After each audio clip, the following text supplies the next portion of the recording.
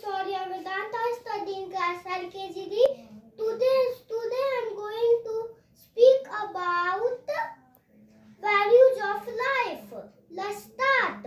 Everything we think, everything we feel, every action we take is because our beliefs and values, our values shape our life. Our decision our decision our decision shape our life. And, following and following are the the values of my life. Health, love, gratitude, kindness, integrity, growth, peace and connection